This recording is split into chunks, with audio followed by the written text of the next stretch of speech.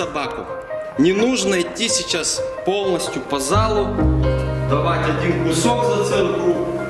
Совершаете хотя бы один шаг, и собака включилась в руку и пытается оттуда достать, вы говорите, умница, молодец, мне это нравится. Да, держи. Когда вы сказали «да», вы собаке дали понять, что упражнение закончилось. Если у вас в руках закончилась еда, не нужно никуда двигаться. Если собака убежала от руки и побежала вперед, остановились, развернулись, вышли из круга, чтобы кто-то вас не догнал, чтобы кому-то кому вы не мешали, и пошли в другую сторону.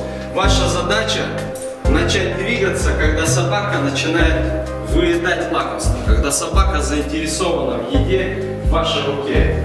Если собаку учим ходить с левой стороны, то собака должна идти лакомством в левой руке.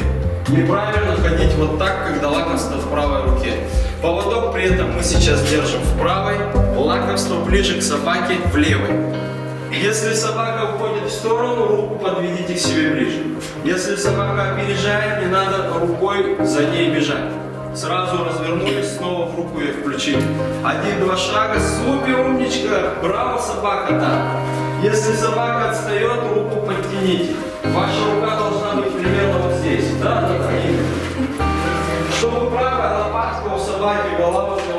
Вы говорите, умничка, молодец, да. Хорошо, собака, супер, да. Вот так вот работает.